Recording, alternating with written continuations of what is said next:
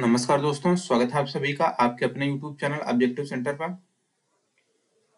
दोस्तों, ये हमारा वेल्डिंग का तीसरा क्लास है। तो दोस्तों, पिछले वीडियो में दोस्तों मैंने प्रेशर वेल्डिंग के जो भी दोस्तों क्लासिफिकेशन थे, उनका मैंने पूरा डिटेल से आपको समझा दिया था हर एक टॉपिक के बारे में, जितने भी क्वेश्चन बनेंगे उसके बारे में भी।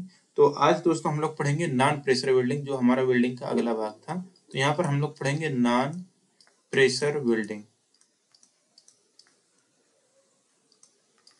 ठीक तो नॉन प्रेशर वेल्डिंग के बारे में हम लोग यहाँ पर देखने वाले हैं। नॉन प्रेशर वेल्डिंग जो होता है दोस्तों, इसको हम लोग बोलते हैं, दूसरा जो नाम है इसका, वो है दोस्तों फ्यूजन वेल्डिंग ठीक? कौन सा वेल्डिंग तो इसको हम लोग बोलते हैं फ्यूजन वेल्डिंग तो नॉन प्रेशर वेल्डिंग का दूसरा नाम फ्यूजन वेल्डिंग अब कोई कहे हिंदी में क्या बोलेंगे तो फ्यूजन वेल्डिंग को हम लोग बोलते हैं क्या?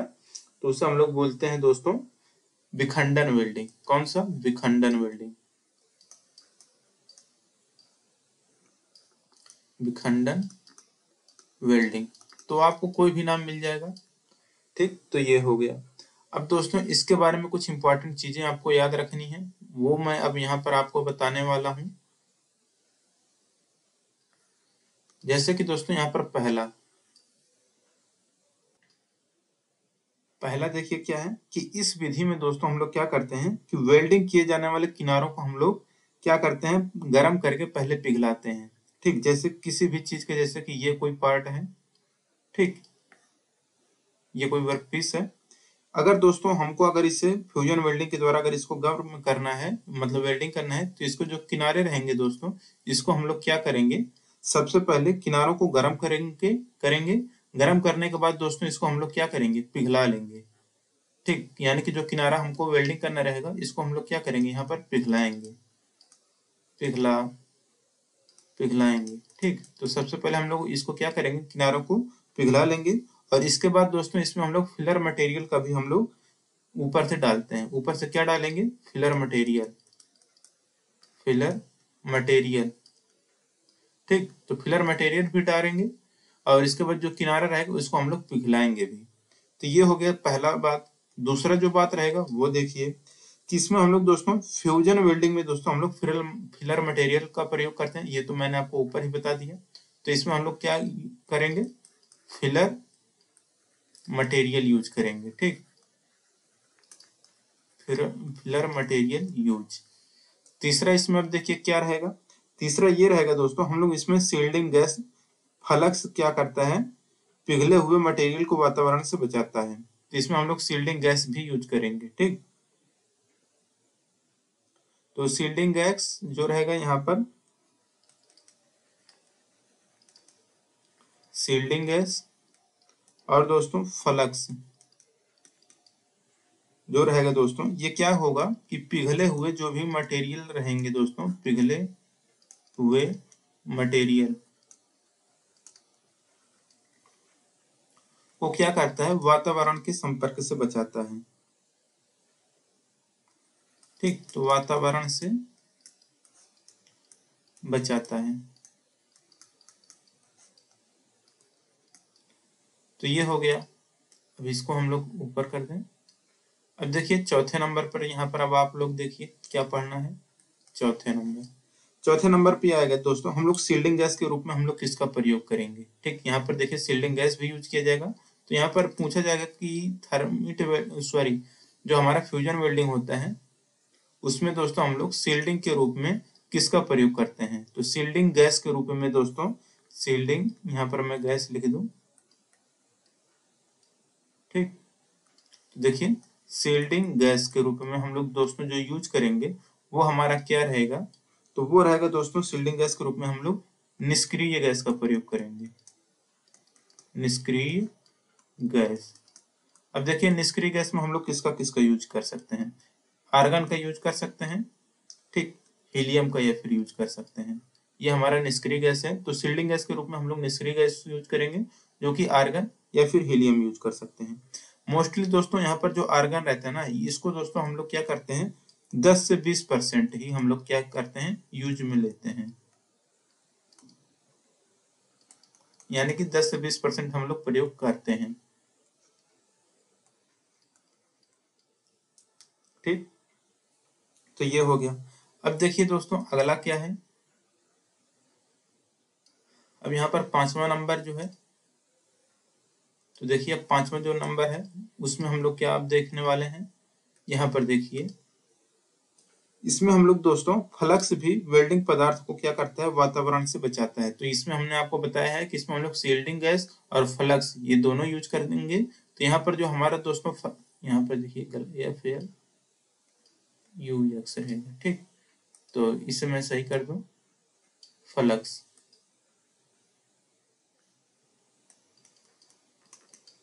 तो यहाँ पर दोस्तों जो हमारा फ्लक्स यूज़ होगा, ठीक, ये क्या करेगा? जो भी हमारा वेल्डिंग पदार्थ रहेगा, ठीक? वेल्डिंग पदार्थ। इसको क्या करेगा दोस्तों? वातावरण से ये भी बचाता है। अगर दोस्तों इसमें वातावरण का अगर प्रभाव पड़ेगा तो वेल्डिंग हमारा ढंग से नहीं होगा। तो ये इसलिए दोस्तों हम लोग सील्डिंग गैस और फ्लक्स ये सब यूज़ करते हैं वेल्डिंग पदार्थ को वातावरण से बचाने के लिए। ठीक? अब देखिए यहाँ पर दोस्तों ये आपका पांचवा हो गया। अब इसके बाद छठा नंबर आपको याद रखना है कि इसमें दोस्तों हम लोग ये जो फ्लक्स यूज़ करते हैं वेल्डिंग पदार्थ को वातावरण से बचाने के लिए, इसमें दोस्तों हम लोग क्या क्या यूज़ कर सकते हैं? जैसे कि हम लोग बता दें, यहाँ पर सिलिकॉन यूज़ कर सकते हैं सिलिकॉन ठीक? तो फ्लक्स के रूप में हम लोग सिलिकॉन यूज़ करेंगे, रेत यूज़ करेंगे, सुहागा यूज़ करेंगे, ठीक? और देखिए, और क्या यूज़ कर सकते हैं? एल्युमिनियम भी यूज़ कर सकते हैं एल्युमिनियम एंड मैग्नीशियम ठीक? इन सब के दोस्तों, क्या होना चाहिए? ऑक्साइड होना चाहिए, ठीक? तो ये हम लोग यूज़ करते हैं किसके रूप में? तो फ्लक्स जो होता है वेल्डिंग पदार्थ को वातावरण से बचाना बचाता है और फ्लक्स के रूप में दोस्तों हम लोग सिलिकॉन रेत, सुहागा एल्युमिनियम और मैग्नीशियम के ऑक्साइड हम लोग यूज़ करते हैं, ठीक? और देखिए और देखिए यहाँ पर इसको हम थोड़ा ऊपर कर दें। तो यहाँ पर देखिए, जो भी हमारा आगे जो मटेरियल जो भी रहता है, जैसे कि फ्लक्स कोड वायर इलेक्ट्रोड दो प्रकार के होते हैं। तो यहाँ पर देखिए, जो फ्लक्स यूज़ करेंगे तो यहाँ पर देखिए, फ्लक्स के बारे में मैं बता दूँ। जो फ्लक्स होते हैं दोस्तों, यह कोर वायर इलेक्ट्रोड दोस्तों जो होते हैं, ये हमारे दो प्रकार के होते हैं। ठीक? कौन कौन से होते हैं? तो देखिए दोस्तों, इसमें पहला एक तो रहेगा आपका, ये नंबर ये आपका रहेगा सेल्फ सील्डेड ठीक? तो सेल्फ सील्डेड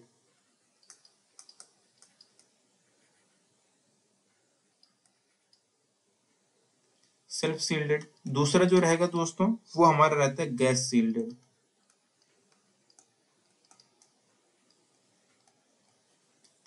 ठीक? तो ये हो गया। अब देखिए, गैस सील्डेड में जो सील्डिंग के लिए दोस्तों हम लोग एक अलग स्रोत की आवश्यकता होती है, जबकि जो सेल्फ सील्डेड रहता है, इसमें जो इलेक्ट्रोड के जलने से निकलने वाले जो गैस होते हैं, उसी से मोल्टन मटेरियल पूल को हम लोग प्रोटेक्शन देते हैं। ठीक तो यही दोनों अंतर है, सेल्फ सील्ड और गैस सील्ड में अंतर। ठीक तो आप याद रखिएगा कि गैस सील्ड में हम लोग सील्डिंग के लिए एक अलग स्रोत की आवश्यकता होती है, जबकि सेल्फ सील्ड में इलेक्ट्रोड के जलने या इलेक्ट्रोड के जलने से जो भी निकलने वाली गैसें होती हैं दोस्तों, उसमें मोल्टन मटेरियल जो भी पूल रहता है, उसको क्या करता है? प्रोटेक्शन यानी कि सुरक्षा प्रदान करता है। ठीक तो ये है दोस्तों सेल्फ सील्ड और गैस सील्ड में अंतर। अब ये हो गया दोस्तों हमारा सील्डिंग के बारे में और फ्लक्स के बारे में और फ्यूजन वेल्डिंग के बारे में। अब दोस्तों हम लोग जानेंगे कि जो हमारा वेल्डिंग रहता है, इसके प्रकार के बारे में। ठीक। तो यहाँ पर देखिए, मैंने आपको, ये आपको बताया ही है कि प्रेशर वेल्ड, या नॉन प्रेशर वेल्डिंग के बारे में, ठीक। अब इसका दोस्तों हम लोग क्या करेंगे? वर्गीकरण देखेंगे। ठीक तो ये तो हो गया दोस्तों, इसके बारे में। अब अगले पेज पर हम लोग दोस्तों चलेंगे।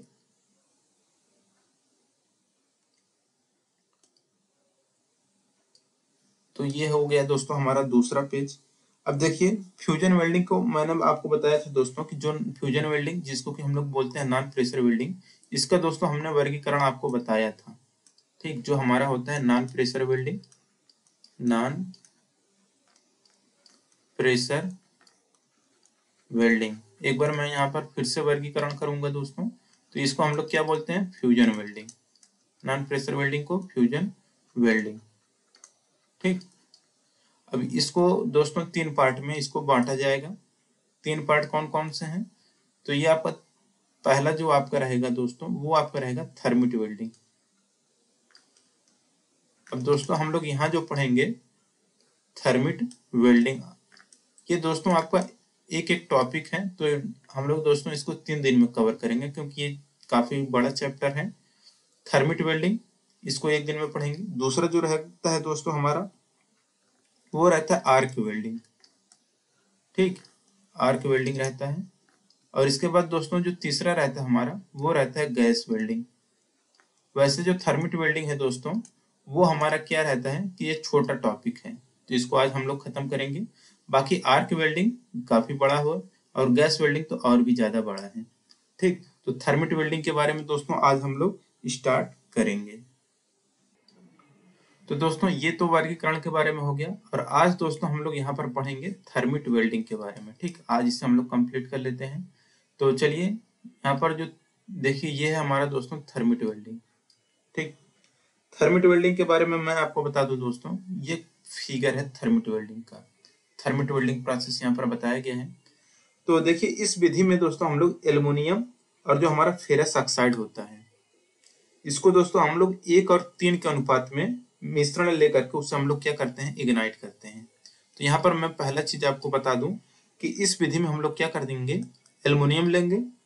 और क्या लेंगे? फेरस ऑक्साइड ठीक? फेरस ऑक्साइड अब फेरस ऑक्साइड दोस्तों, देखिए अब कई इसके रूप में होते हैं। तो फेरस ऑक्साइड लेंगे।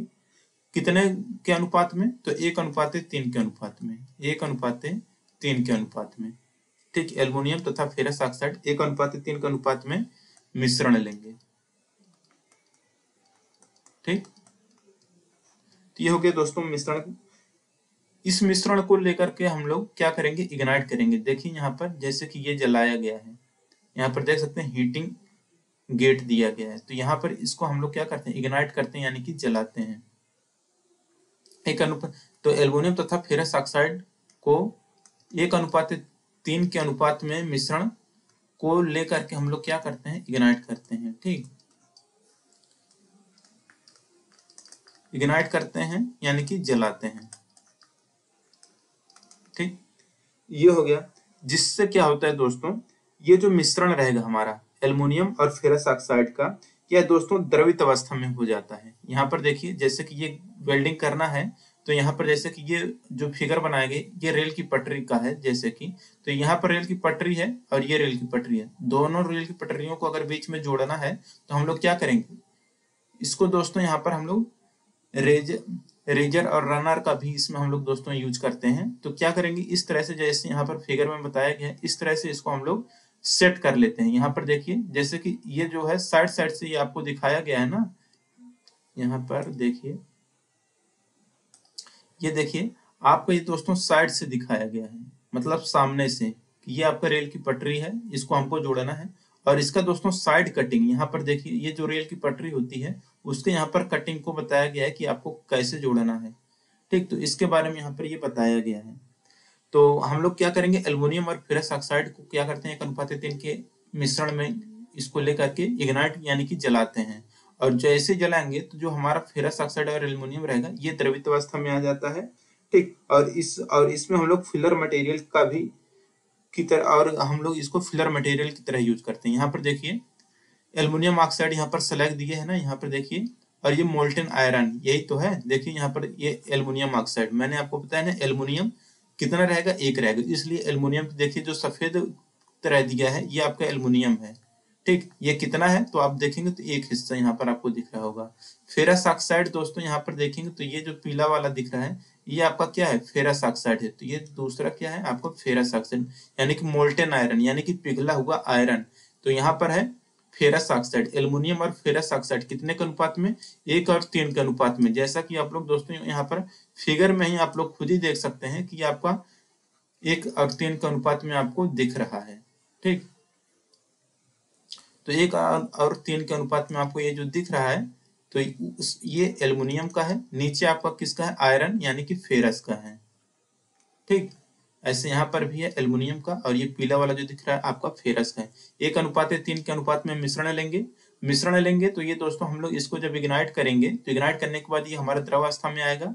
द्रवावस्था में जब आ जाएगा दोस्तों तो जो हमें जहाँ वेल्डिंग करना रहेगा तो इस तरह से इसको दोस्तों हम लोग यहाँ पर गैप देखिए रेजर और रनर यहाँ पर हम लोग यूज़ करते हैं और यहाँ पर देखिए इसी तरह से यहाँ से हम लोग इसको गिराएँगे और जहाँ पर वेल्डिंग करना रहेगा, वहाँ पर ये जो भी मोल्टन मेटल रहेगा, आपका मोल्टन आयरन और ऑक्साइड का जो भी मिक्सचर रहेगा द्रवित अवस्था में, वो वहाँ पर जाके अपना वेल्ड कर लेता है। ठीक तो यही इसका मेन प्रोसेस है। और इसको दोस्तों हम लोग जो एल्युमिनियम और मोल्टन आयरन रहता है एज ए दोस्तों हमारा फिलर मटेरियल की तरह यूज़ होता है। ठीक तो इसे भी आपको याद रखना है कि एल्युमिनियम और फेरस ऑक्साइड के एक अनुपात तीन के मिश्रण में लेकर इसको इग्नाइट करते हैं। तो ये हमारा क्या आएगा? दूसरे यहाँ पर देखिए यह हमारा क्या आ जाएगा? द्रव अवस्था में आ जाएगा। ठीक, द्रव अवस्था में आने के बाद दोस्तों हम लोग इसको क्या करेंगे? एज ए फिलर मटेरियल के रूप में यूज़ करेंगे। Filler material as a filler material के रूप में इसे यूज़ करते हैं। और जोड़ने वाली सतह पर दोस्तों हम लोग यहाँ पर देखिए, इस तरह से यहाँ से जहाँ जोड़ना रहता है, वहाँ पर हम लोग पहुँचा देते हैं। ठीक? यहाँ पर देखिए, जैसे कि रेल की ये पटरी है ना, यहाँ पर इसको जब क्रॉस सेक्शन देखेंगे तो यहाँ पर इस तरह से रेल की पटरी रहती है ना तो इसको इसको देखिए किनारे किनारे चारों तरफ़ देखिए यहाँ पर एक जो रेड कलर का ये देखिए, लाल कलर का ये जो दिख रहा है ना, ये सब दोस्तों यही मोल्टन मेटल है, यानी कि एल्युमिनियम और आयरन का जो ऑक्साइड है और द्रव अवस्था में है। ये क्या करेंगे? ऊपर से हम लोग डालेंगे और ये बीच में दोस्तों, ये खांचा बना हुआ है। खांचे की तरह रहेगा और यहाँ पर ये क्या होगा? ऐसे चारों तरफ़ से ये घेर लेगा, क्योंकि ये द्रव अवस्था में है तो ये पटरी जो रहेगा उसके चारों तरफ़ ये घेर लेगा। जब घेर लेगा तो ये क्या होगा? जो भी गैप रहेगा, ये चारों तरफ़ से अपना भर लेगा। ठीक तो और यही से आपका क्या होगा कि ये आपका वेल्डिंग कंप्लीट हो जाता है। ठीक तो यही दोस्तों इसका प्रोसेस है थर्मिट वेल्डिंग का। तो ये आप लोगों को समझ में आ गया होगा। अब इसमें पूछेगा दोस्तों रिएक्शन भी कभी कभी आपसे पूछ लेगा कि रिएक्शन कैसे होगा। तो प्रोसेस मैंने आपको बता दिया है, क्या होगा? यहाँ पर आप लोग देख सकते हैं, जैसे कि एल्युमिनियम एक अनुपात में रहेगा और जो मोल्टन आयरन यानी कि जो फेरस ऑक्साइड रहेगा, तीन के अनुपात में रहेगा। और इसको दोस्तों हम लोग क्या करेंगे? इग्नाइट कराएँगे तो यानी कि जलाएँगे। तो इग्नाइट जब करेंगे दोस्तों, यानी कि हीट देंगे तो ये हमारे द्रव अवस्था में आएगा। जब द्रव अवस्था में आ जाएगा दोस्तों तो यहाँ पर देखिए, इस तरह से हम लोग ऊपर से डालेंगे। बाकी ये सब दोस्तों हम लोग सांचा बनाए ही रहते हैं। अब क्या करेंगे, यहाँ से जब डालेंगे तो जो पटरी रहेगी, इसके चारों तरफ़ क्या है, गैप रहता है। और इसी गैप में दोस्तों ये जाके जो भी हमारा मटेरियल रहता है एल्युमिनियम और आयरन ये जो द्रव अवस्था में रहता है एज ए फिलर मटेरियल के रूप में यूज़ होता है। तो ये दोस्तों इसका वर्किंग है। अब इसमें अंदर रिएक्शन किस तरह का होगा, इसके बारे में अब ज़्यादा क्वेश्चन पूछता है। तो अब इसके बारे में मैं आपको बता दूँ। तो चलिए, अब इसके बारे में हम लोग अब ये देखिए, अगले पेज पर ही हम लोग चल लेते हैं। तो देखिए दोस्तों, इसमें दोस्तों देखिए अलग अलग जगह पर जैसा रहेगा मटेरियल उसी तरह से काम होगा। तो यहाँ पर दोस्तों तीन तरह का हम लोग यूज़ करेंगे। जैसे कि आपको मैं यहाँ पर देखिए इंसर्ट देखिए कौन सा रिएक्शन बनेगा।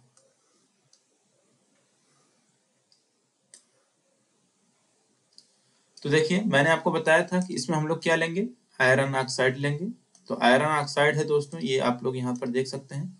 आयरन ऑक्साइड लेंगे प्लस एल्युमिनियम लेंगे। तो ये हमारा क्या बनेगा? एल्युमिनियम ऑक्साइड बनेगा और आयरन बनेगा प्लस यहाँ पर हीट जनरेट होगा। ठीक? तो अब इसमें देखिए, आप लोग अगर देखेंगे तो यहाँ पर जो फेरस है एफ़ ई ओ तो फेरस ऑक्साइड और एल्युमिनियम ये दोनों मिलके एल्युमिनियम ऑक्साइड ए बनाएगा।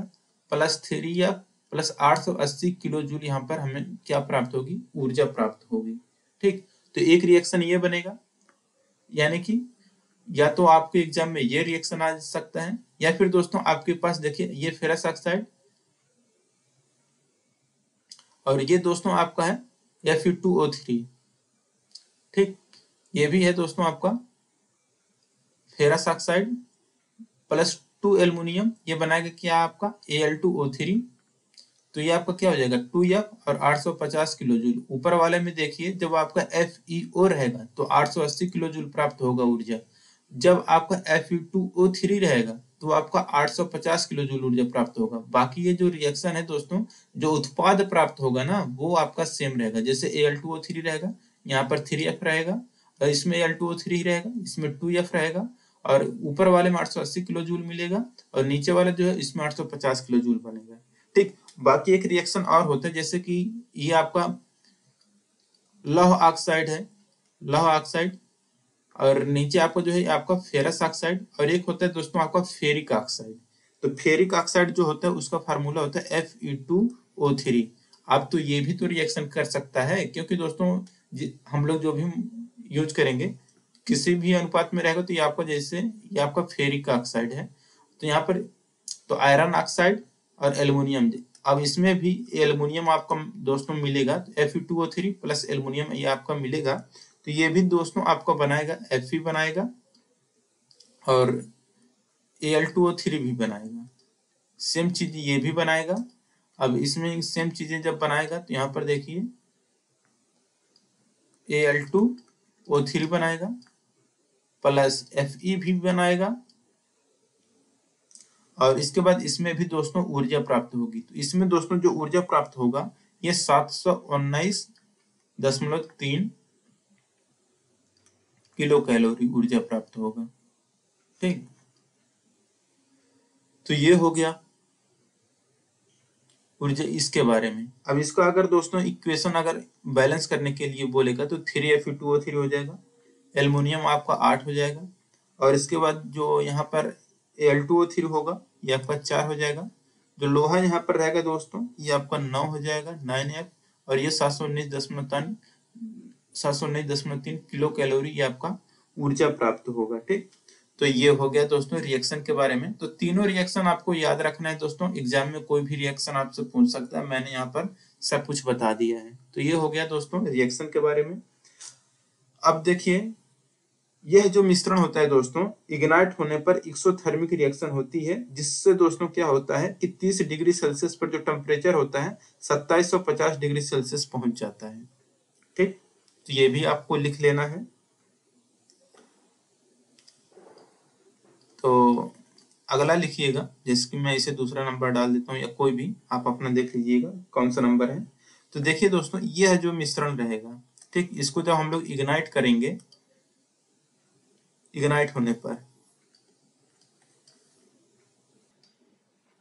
तो देखिए, ये लिख लीजिए आप लोग कि यह मिश्रण इग्नाइट होने पर एक एक्सोथर्मिक रिएक्शन यानी कि उष्मा छेपी। यहाँ पर दोस्तों ये उष्मा निकल रहा है ना? उष्मा जो निकलेगा, उसी को दोस्तों हम लोग बोलते हैं उष्मा छेपी रिएक्शन ठीक? अगर यही उष्मा दोस्तों अगर बाहर निकलता निकल रहा है ना तो उष्मा छेपी रिएक्शन है। अगर ये बाहर से उष्मा लेता है तो ये उष्मा शोषी हो जाता है। तो यहाँ पर ऊर्जा जो निकल रहा है तो उष्मा छेपी अभिक्रिया होता है यहाँ पर। ठीक तो और जिसके कारण क्या होता है कि 30 डिग्री सेल्सियस पर जो टेम्परेचर होता है दोस्तों वह 2750 डिग्री सेल्सियस पर, पर पहुँच जाता है। तो हम लोग तीन सौ तीन सॉरी तीन डिग्री सेल्सियस पर टेम्परेचर यहाँ पर दे जो होता है इससे क्या होता है, जब हमारा उष्मा शोषी यहाँ पर जो 880 किलो, जूल 850 किलो, जूल, ये सब जब उष्मा दोस्तों बाहर निकलेगा तो इससे क्या होगा टेम्परेचर तो बढ़ेगा ही, जिसके कारण जो ऊर्जा होगा दोस्तों, जो टेम्परेचर होगा, वह 2750 डिग्री सेल्सियस पर पहुँच जाता है। ठीक, अब देखिए आगे क्या है। इसमें है दोस्तों कि यह मिश्रण तो हमने आपको बता दिया, बता दिए हैं कि इग्नाइट होने पर दोस्तों एक्सोथर्मिक रिएक्शन देता है, जिससे 30 डिग्री सेल्सियस पर ही 2750 डिग्री सेल्सियस पर इसका टेम्परेचर पहुँच जाता है। और इसमें दोस्तों हम लोग इग्निशन मैग्नीशियम धातु के रिबन द्वारा कराते हैं, ठीक? तो इग्निशन किसके द्वारा कराते हैं? तो यहाँ पर लिख लीजिए, जो इग्निशन होगा इग्निशन जो होगा, वह मैग्नीशियम धातु के रिबन के द्वारा होगा। रिबन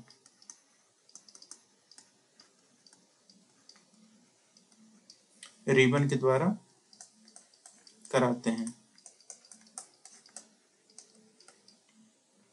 ठीक? और इस वेल्डिंग में दोस्तों क्या होता है कि कास्टिंग की तरह जो दोस्तों हम लोग क्या करते हैं कि रनर और राइजर का भी यूज़ करते हैं। जैसे कि मैंने आपको फिगर में ही दिखाया था रनर और राइजर यहाँ पर दोस्तों देखिए राइजर और रनर ये जो है दोस्तों, यहाँ पर मैंने आपको बताया है ये देखिए, यहाँ पर रनर है। ये रनर है और यहाँ पर आपका ये राइजर है। तो यहाँ पर रनर और राइजर दोनों का प्रयोग हम लोग दोस्तों यहाँ पर करते हैं। ठीक? तो इग्निशन धातु इग्निशन मैग्नीशियम धातु के रिबन के द्वारा कराते हैं। और चौथा यहाँ पर लिखिए आप लोग, यहाँ पर कि इस वेल्डिंग में हम लोग कास्टिंग की तरह दोस्तों क्या यूज़ करेंगे? रनर और राइजर का भी यूज़ करते हैं। तो यहाँ पर ये भी लिख लीजिए कि इस वेल्डिंग में कास्टिंग, यानी कि जब हम लोग ढलैया करते हैं, यानी कि वो भी करते हैं ढलाई, यानी कि कास्टिंग करते हैं। जैसे कि ढलवा लोहा बनाते हैं या फिर कुछ करते हैं तो कास्टिंग यहाँ पर होता है ना? तो उसी तरह से दोस्तों कास्टिंग की तरह हम लोग क्या करेंगे? कि रनर एवं राइजर का भी प्रयोग करेंगे। कास्टिंग की तरह रनर एंड राइजर यूज़ करते हैं। ठीक? तो इस तरह से पूछेगा कि वह कौन सा वेल्डिंग है जिसमें हम लोग रनर और राइजर का भी यूज़ करते हैं। कास्टिंग की तरह। तो ये होगा दोस्तों हमारा थर्मिट वेल्डिंग एक एक चीज़ें दोस्तों यहाँ पर इंपॉर्टेंट है। कोई भी चीज़ें आप लोग मिस मत करिएगा। तो ये हो गया। अब आगे देखिए, यहाँ पर ठीक तो भारी पाइप, रेल पटरी साफ्ट आदि का प्रयोग हम लोग वेल्डिंग के रूप में करते हैं, थर्मिट वेल्डिंग में। ठीक तो ये हो गया दोस्तों रिएक्शन के भी बारे में। तो थर्मिट वेल्डिंग दोस्तों एक ऐसा प्रक्रिया होता है जिसमें हम लोग दोस्तों केमिकल रिएक्शन के द्वारा ही हम लोग दोस्तों वेल्डिंग करते हैं। तो ये भी याद रखिएगा, हो सकता है किसी एग्ज़ाम में पूछ ले। तो थर्मिट वेल्डिंग में हम लोग क्या करते हैं केमिकल रिएक्शन के द्वारा। केमिकल रिएक्शन के द्वारा वेल्डिंग होता है। ठीक? और दोस्तों, यहाँ पर एक चीज़ याद रखिएगा, थर्मिट वेल्डिंग के बारे में, कि थर्मिट वेल्डिंग में, देखिए हम लोग क्या लिख दें यहाँ पर।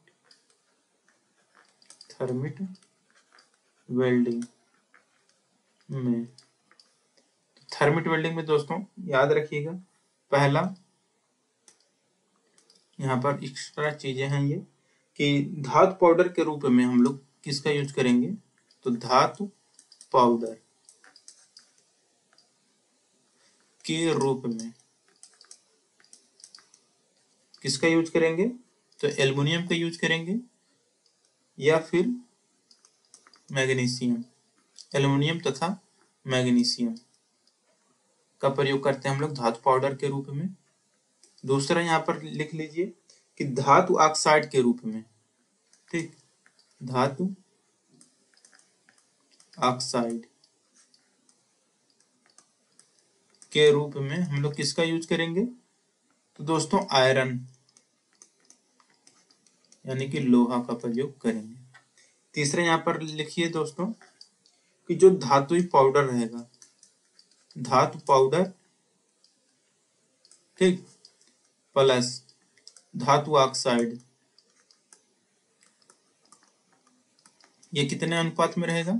मैंने आपको बताया था, एक अनुपात है, तीन के अनुपात में। ठीक? एक और तीन मैंने आपको बताया है ना, एक अनुपात है, तीन के अनुपात में, कि एल्युमिनियम यहाँ पर देखिए, धातु पाउडर यही तो है एल्युमिनियम है एल्युमिनियम कितना रहेगा? तो एक रहेगा धातु ऑक्साइड कितना रहेगा यानी कि लोहा का हमारा कितना रहता है? तीन के अनुपात में रहता है। तो एक अनुपात तीन के अनुपात में रहता है। अगर एक परसेंटेज की बात करें तो धातु पाउडर हमारा कितना रहेगा? पच्चीस परसेंट और इसके बाद धातु ऑक्साइड कितना रहेगा? तो पचहत्तर परसेंट ठीक परसेंटेज भी कभी कभी पूछ लेगा, नहीं तो रेशियो पूछेगा तो एक अनुपात है तीन परसेंटेज पूछेगा तो पच्चीस अनुपात है पचहत्तर। ये हो गया दोस्तों। ठीक तो ये हो गया जब तो आइए हम लोग पूरा जितना भी पढ़े हैं आज इसका रिवीजन कर लें। तो देखिए दोस्तों, हमने क्या पढ़ा है कि non pressure welding non pressure welding हम लोग क्या बोलते हैं? फ्यूजन वेल्डिंग फ्यूजन वेल्डिंग को हम लोग दूसरा नाम क्या देंगे? खंडन वेल्डिंग हिंदी में। अब दोस्तों, यहाँ पर देखिए, जो भी हम वर्क पीस को जोड़ना रहेगा या मटेरियल जो भी, जिस भी पदार्थ के मटेरियल को जोड़ना रहेगा, उसको हम लोग क्या करेंगे दोस्तों यहाँ पर? जो इसके सिरे रहेंगे, उसको हम लोग पिघला के द्रव अवस्था में लाएँगे और यहाँ पर फिलर मटेरियल भी ऊपर से हम लोग क्या करेंगे? डालेंगे। ठीक। अब देखिए, यहाँ पर फिलर मटेरियल इसमें हम लोग यूज़ करेंगे। सील्डिंग गैस इसमें यूज़ होगा दोस्तों फ्लक्स भी यूज़ होगा, जो कि पिघले हुए मटेरियल को क्या करते हैं, वातावरण से बचाता है। और सील्डिंग गैस के रूप में दोस्तों हम लोग निष्क्रिय गैस का प्रयोग करेंगे, जैसे कि आर्गन और हीलियम और आर्गन जो होता है दोस्तों, ये हम लोग 10 से 20 परसेंट प्रयोग करते हैं, ठीक? अब यहाँ पर देखिए फ्लक्स जो होता है दोस्तों, ये हमारा वेल्डिंग पदार्थ को क्या करता है? वातावरण से बचाने का कार्य करता है, ठीक? फ्लक्स भी बचाएगा और जो सील्डिंग गैस रहेगा, वो भी क्या होगा? ये भी बचाता है वातावरण के प्रभाव से, ठीक? अब सिल अब देखिए फ्लक्स के रूप में दोस्तों हम लोग किसका यूज़ करते हैं? तो सिलिकॉन रेत और सुहागा एल्युमिनियम और मैग्नीशियम का ऑक्साइड हम लोग यूज़ करते हैं फ्लक्स के रूप में। और देखिए फ्लक्स जो होता है दोस्तों, ये कोर वायर इलेक्ट्रोड जो होते हैं, दो प्रकार के होते हैं। एक तो होता है सेल्फ सील्डेड और एक होता है आपका गैस सील्डेड जब अपना दोस्तों सेल्फ स्वयं होगा तो सेल्फ सील्डेड गैस के द्वारा किया जाएगा तो गैस सील्डेड हो जाएगा। ठीक? तो यही है। अब अगला जो है दोस्तों, हम लोग क्या है कि नॉन प्रेशर वेल्डिंग के बारे में जानेंगे। तो नॉन प्रेशर वेल्डिंग का दूसरा नाम फ्यूजन वेल्डिंग है। फ्यूजन वेल्डिंग ये आपके तीन प्रकार के बढ़ जाएँगे। एक थर्मिट वेल्डिंग दूसरा आर्क वेल्डिंग और तीसरा गैस वेल्डिंग तो थर्मिट वेल्डिंग के बारे में आज हमने पढ़ ली। लिया है तो इसका हम लोग आज पढ़ेंगे। बाकी आर्क वेल्डिंग और गैस वेल्डिंग एक एक दिन हमारा क्लास चलेगा तो थर्मिट वेल्डिंग के बारे में आइए, हम लोग देखते हैं। थर्मिट वेल्डिंग में हमने क्या पढ़ा है? किसमें दोस्तों हम लोग एल्मोनियम और फेरस ऑक्साइड का प्रयोग करेंगे, जो कि एल्मोनियम रहेगा हमारा एक अनुपात में रहेगा फेरस हमारा तीन अनुपात में रहेगा, या पच्चीस और पचहत्तर के परसेंटेज में रहेगा। तो इसी को हम लोग क्या करते हैं? एल्युमिनियम और फेरस ऑक्साइड को एक अनुपात, तीन के अनुपात में मिश्रण को लेकर के उसको हम लोग दोस्तों इग्नाइट करते हैं। इग्नाइट करने से हमारा क्या होगा? द्रव अवस्था में आएगा। द्रव अवस्था में जब यह आ जाएगा दोस्तों तो हम लोग इस द्रव अवस्था में जब आ जाएगा तो इसको हम लोग फिलर मटेरियल यानी कि यहाँ पर ऊपर से जो डालते हैं, इसको हम लोग फिलर मटेरियल के रूप में यूज़ कर लेते हैं। तो ये एल्युमिनियम देखिए, यहाँ पर आपको सफ़ेद वाला जो दिख रहा है, आपको कम दिख रहा है तो एक है। पीला वाला जो दिख रहा है आपका तीन है। तो एक अनुपात है, तीन के अनुपात में आपको ऐसे फिगर से पता चल जा रहा है। और यहाँ पर ये दोस्तों, ये देखिए, ये मिट्टी का है, या फिर कुछ भी समझिए। ये इस तरह से दोस्तों हम लोग क्या करते हैं, यहाँ पर सांचा बना लेते हैं। जैसे कि कास्टिंग का हम लोग, जैसे हम लोग ढलाई करते हैं, उसी तरह से ढलाई करने के लिए हम लोग इसका थर्मिट वेल्डिंग में दोस्तों हम लोग क्या करते हैं, सांचा बना लेते हैं। और जिसका, जैसे ये रेल की पटरी है, इसका हमको वेल्डिंग करना है। तो इसके चारों तरफ़ देखिए गैप दिया गया है, यहाँ पर हल्का हल्का सा। जो चारों तरफ़ गैप रहेगा तो यहाँ पर दोस्तों रनर और राइजर की सहायता से हम लोग क्या करेंगे?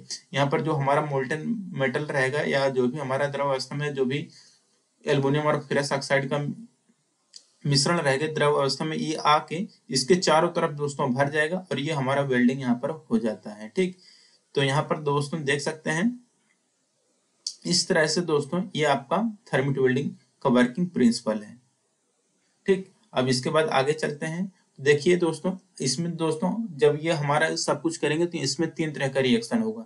जो जैसे कि इसमें जो रिएक्शन होगा आयरन ऑक्साइड और एल्युमिनियम जो आपस में मिलेंगे दोस्तों तो एल्युमिनियम ऑक्साइड बनाएँगे प्लस आयरन बनाएँगे और हीट जनरेट होगा। ठीक, अगर ये दोस्तों एफ़ रहेगा और एल्युमिनियम रहेगा तो एल टू ओ थ्री बनाएगा और थ्री एफ़ बनाएगा तो इसमें आठ सौ अस्सी किलो जूल ऊर्जा प्राप्त होगा। और जो एफ़ टू ओ थ्री रहेगा plus two aluminium L two O three plus two F रहेगा तो इसमें आठ सौ पचास किलो जूल उष्मा प्राप्त होगा और जब three F two O three रहेगा प्लस आठ एल्यूमिनियम रहेगा तो four A L two O three plus three nine यहाँ पर फेरस प्राप्त होगा।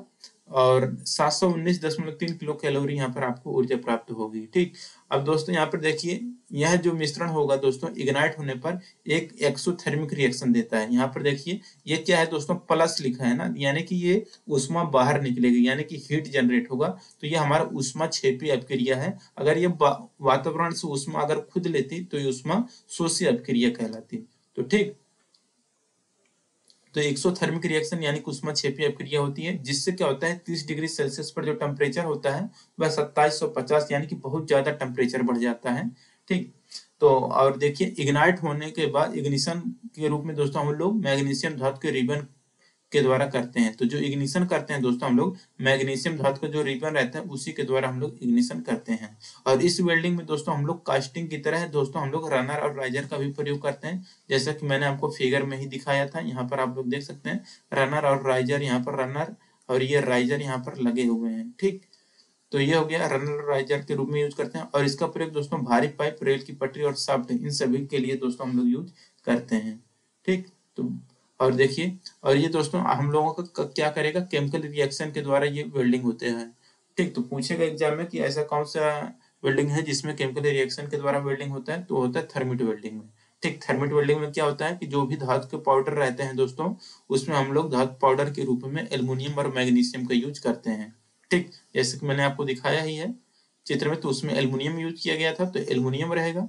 तो एल्युमिनियम जो रहेगा हमारा एक अनुपात में रहेगा और जो धातु ऑक्साइड के रूप में दोस्तों हम लोग आयरन यूज़ करेंगे, वो हमारा तीन के अनुपात में रहेगा। तो धातु पाउडर और धातु ऑक्साइड यहाँ पर एक अनुपात है तीन के अनुपात में रहेगा। परसेंटेज की बात करें तो पच्चीस परसेंट और पचहत्तर परसेंट। ठीक, अब दोस्तों इतना क्वेश्चन आपका थर्मिट वेल्डिंग से बनेगा, इससे ज़्यादा आपको कुछ भी नहीं पूछा जाएगा। मैंने आपको डिटेल में इतना बता दिया है। बाकी अब दोस्तों बचा क्या है? तो वेल्डिंग में तो वेल्डिंग में अब यही बचा है कि अगले चैप्टर में अब लोग, अब हम लोग घुसेंगे अगले टॉपिक पर, जो कि दोस्तों हमारा रहेगा आर्क वेल्डिंग और इसके बाद दोस्तों हमारा क्या रहेगा? गैस वेल्डिंग तो इसको एक एक दिन हम लोग पढ़ेंगे, ठीक? तो ये दोस्तों अगर वीडियो आपको अच्छा लगा हो, वीडियो को लाइक कर दिया करें और अपने दोस्तों के साथ ज़रूर शेयर करें, ठीक? मिलेंगे नेक्स्ट वीडियो में। Thank you